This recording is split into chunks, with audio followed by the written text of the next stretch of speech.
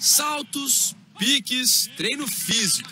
Sem jogo no meio da semana, Tite tem tempo para treinar e melhorar o time. Tite perdeu receita. Diminuir despesas virou ordem no clube. E isso vai interferir diretamente no departamento de futebol. O caso que mais preocupa é o de Guerreiro.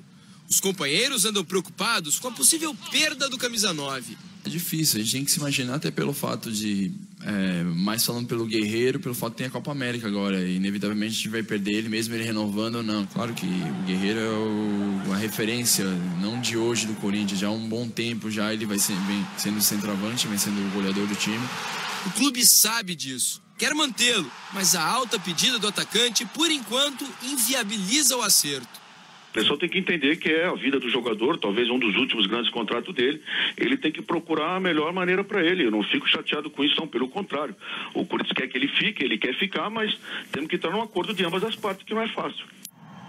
O primeiro a sair deve ser Emerson Sheik, um dos maiores salários do grupo.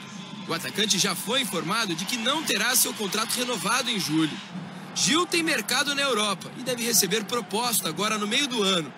O Flamengo quer Petros, até quem nunca jogou no profissional, como o garoto Matheus Cassini, está próximo de ir embora. O Palermo da Itália deve pagar pouco mais de 5 milhões de reais pelo meia de 19 anos. Espero que todo mundo fique. Acho que o nosso grupo é muito é, competitivo, um grupo de qualidade e tem totais condições esses dois campeonatos brigar pelos dois títulos. Não vai ser fácil ficar com todos. A época é de vacas magras no clube.